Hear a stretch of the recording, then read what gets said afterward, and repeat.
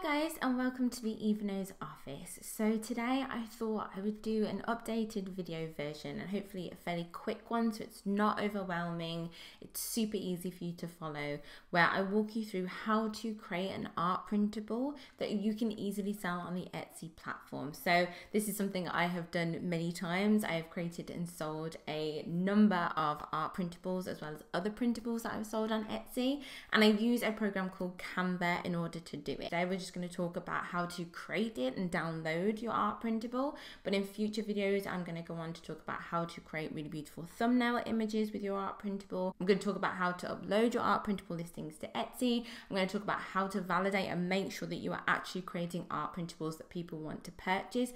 And in the future, I'm going to go on to also show you all different types of printables that you can create and sell using Canva and that you can put onto the Etsy platform. So you can grow your shop using printables.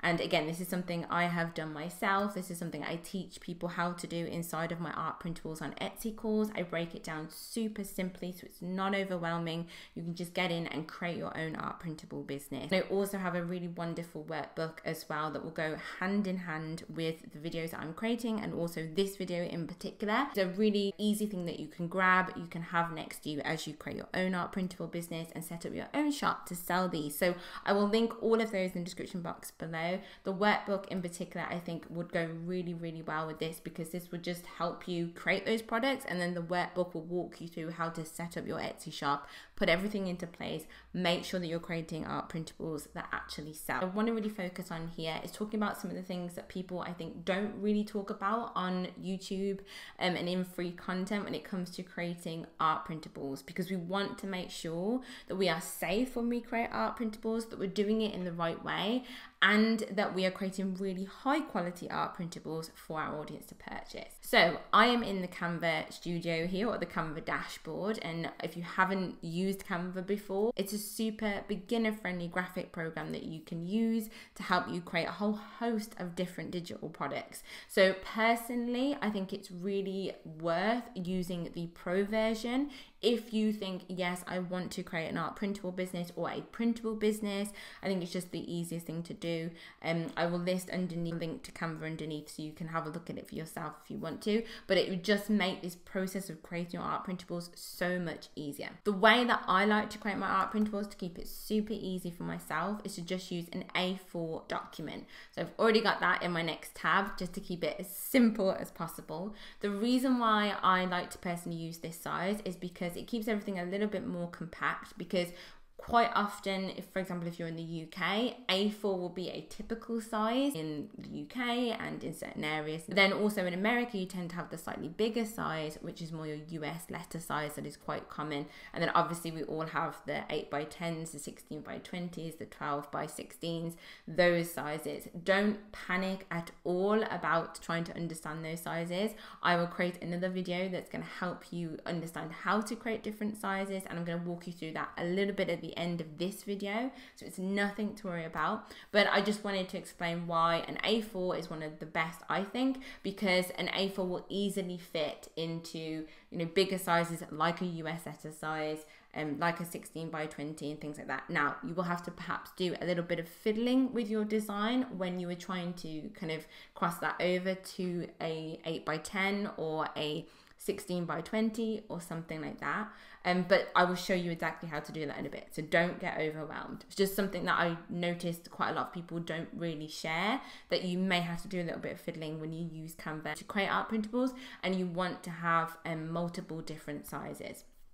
So, the first thing I'm going to dive into that I see quite a lot of people not really mentioning, and I just think it's so important to mention this, is where to get your graphics from if you were not designing your graphics yourself.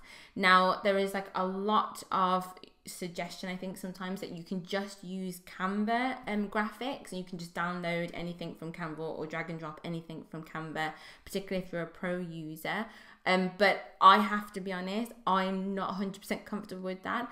I will leave underneath this video the link to Canva's video that they actually created about creating well, all different types of products, but they also feature in there creating printables and digital products um, and their recommendations of how to use their free versus their pro graphics. For me, I personally don't feel comfortable just picking something from um, Canva. It's just my personal preference. I always prefer, and it's just something I, because I'm not a legal expert, prefer, which is to go to a place where I know that I can purchase those graphics. I know that I can use them in a safe way to create printables that I can then take off of Canva and sell on places and platforms like Etsy.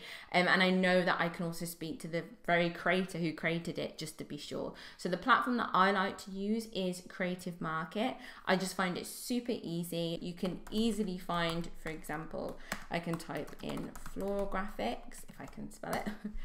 and I can just click on there and I will find a whole host of different graphics. And the important thing to remember about these graphics is that one, they are very, very clear on what you can and cannot use these graphics for. So when you click on um, a listing, you are able to go through and read the licenses and make sure you pick the right license for what you want to use, which in this case would be creating a printable product that you are then going to sell on a separate platform. And also, it's important to remember that once you've purchased these graphics, you can use them again inside of your projects, obviously within the license.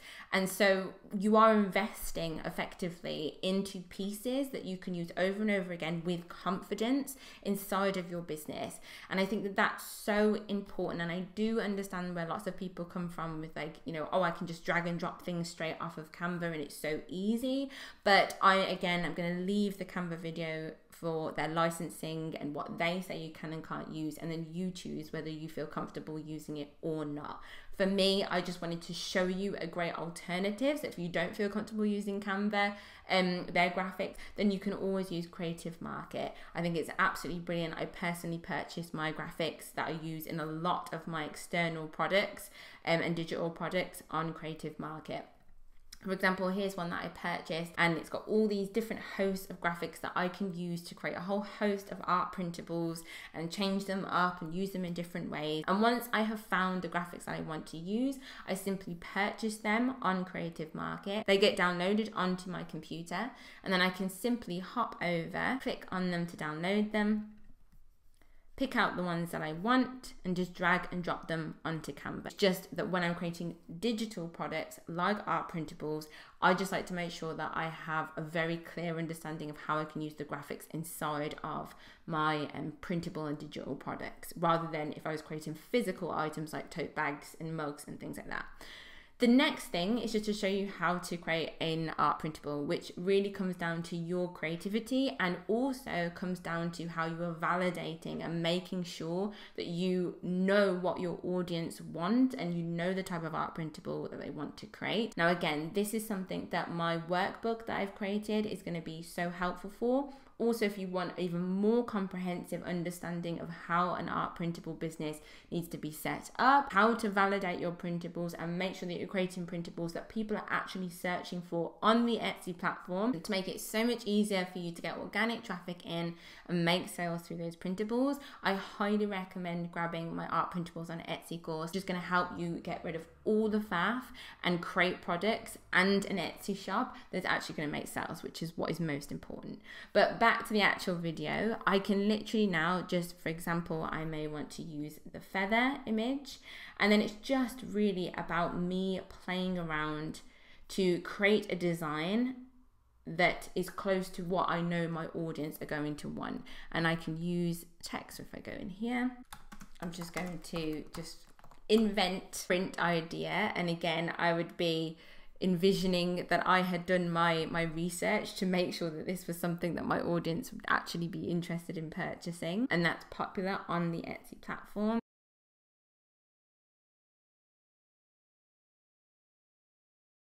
So again i am just playing around with this and um, being very creative which is one of the wonderful things of creating art printables. Obviously, you can have fun and play with it as much as you want to create your art printable. Something I always personally recommend if you are creating art printables for an Etsy shop is if you do have an idea, for example, a um, theme or a topic that you have noticed is really, for example, popular on the Etsy platform, not just to create one art printable around it, but to go ahead and create a good few art printables around that idea, around that keyword or that topic. And again, I will create a video talking about how to find topics and niches and themes that are popular for you to create your art printables inside of so that you do get maximum impact when you upload them onto your Etsy store and you start driving in traffic. But something that, in terms of the creation side of things, I would say is just to not create one single print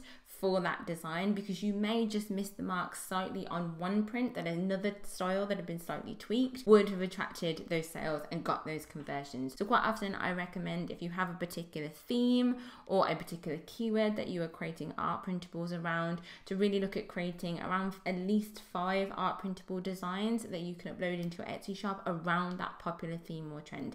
And again, don't worry about that too much right now. I just wanted to give you an example of creating an art printable. So I just wanted to show you some other designs really simply so you can kind of get an idea and a feel for it.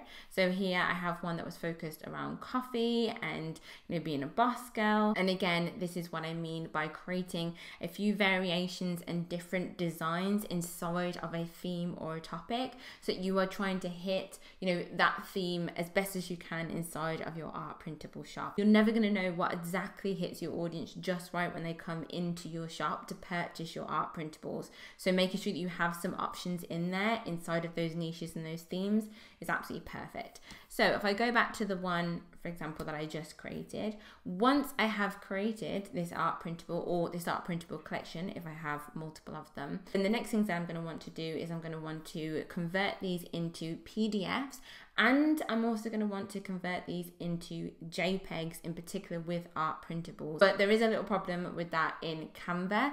Um, and so I will be creating another video for you to kind of show you exactly how to create high quality JPEGs of your PDF downloads that you have. Um, I have this inside of my art printables and Etsy course. I talk about how to convert them really easily and for free. But the reason why you want to do that is because a lot of print companies that people are using in order when they purchase their art printables on Etsy to print their designs out of are now shifting to wanting JPEGs rather than PDF files. Now we still want to offer the PDF file because it's the one that is the highest quality for people to print out, particularly on the Canva platform that only offers and only has available, which is where the little bit of an issue comes in, PDF for print. They don't offer the JPEG format in a high enough quality for you to be able to print that out and for it to look the same as it does here. It will look blurry, it won't look as effective. I think it's something like 97 DPI or something like that. I can't remember the exact number, um, but it's too low of a resolution for a print company to be able to print that out. Whereas the PDF for print is 300 DPI, which is perfect for being able to print it out. So for now, we're going to focus on downloading in the PDF for print format for our art printables. It's super easy in terms of downloading your PDF. We just click on PDF for print.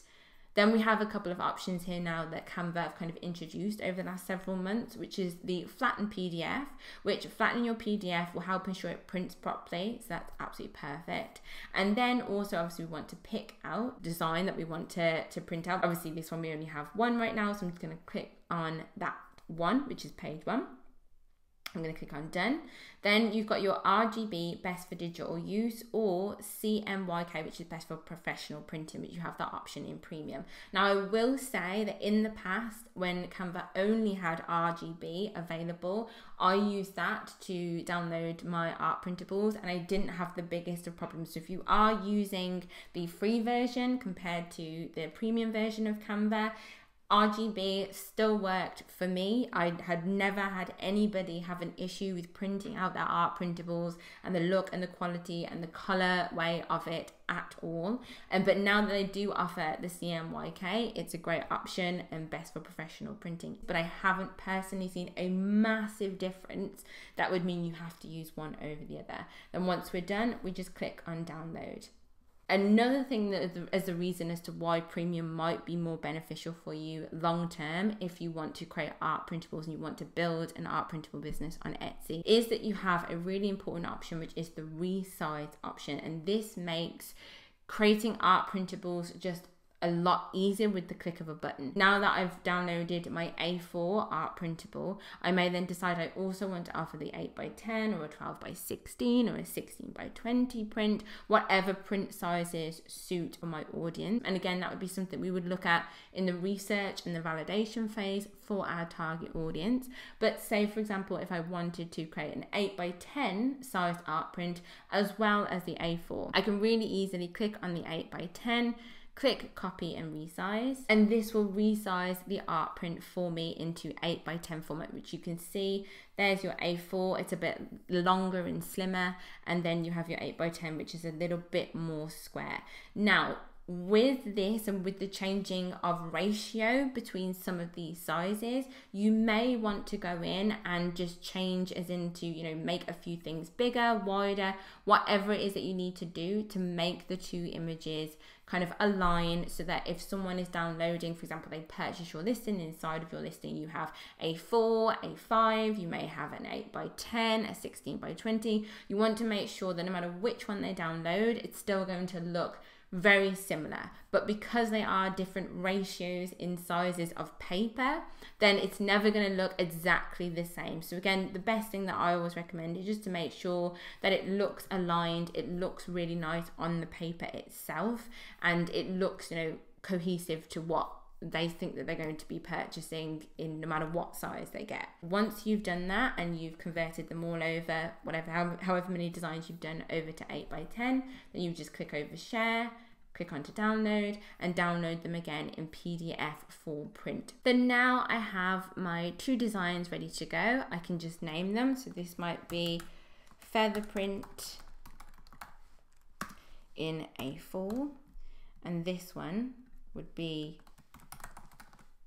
feather print in 8 by 10. I now have my two sized art prints ready to be uploaded into the listing in my Etsy shop. Now, of course, if I want to create even more sizes, then I do run into a little bit of an issue with Etsy because Etsy only offer the ability to have five spaces. I'm just showing you an example in here of a digital listing where you can put five different files into that listing. Now, if you want to offer more than five sizes or more digital products that you want to add into one listing, then we need to look at creating effectively a folder or creating a way for them to get it through a share file. And again, I'm not going to overwhelm you with that. So what I'll do is I'll create another video in the future about how to easily create bigger folders, bigger files that you can put more graphics or more art printables into or printable products into that then you can share inside of your listing on Etsy. So definitely subscribe if you want to see more of these videos for help and support. And also, of course, inside of my art printables on Etsy course,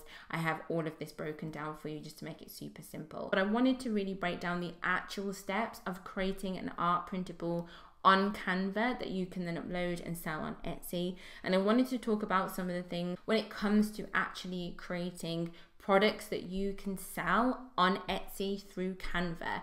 And the best way that I personally feel is just the safest that I like to do for me. Again, I'm not a legal expert, but a lot of us who create art printables or printable products are not legal experts on the back end. So being as safe as possible as we can is really important. And also just to break down some of the more in-depth elements of creating an art printable on Etsy that's high quality, that someone can easily print out, and that you know that you'll be proud of when you go and sell it on the Etsy platform, which is the most important thing. So I hope that this video helps. Definitely subscribe to my channel if you want to see more of these videos at the moment on creating content for Etsy because I have an Etsy store. I also teach people in my art printables on Etsy course, which has over, I think it's 600 students now. Um, I teach how to create actual art printables and printable products and sell them on the Etsy platform.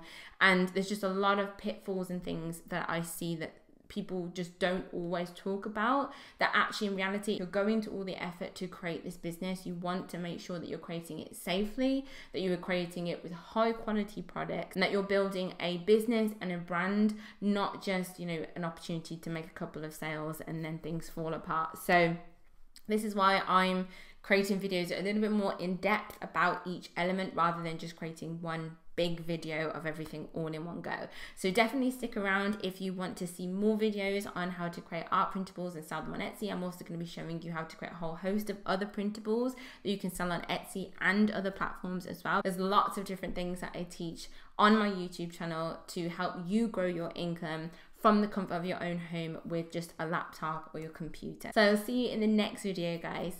Bye.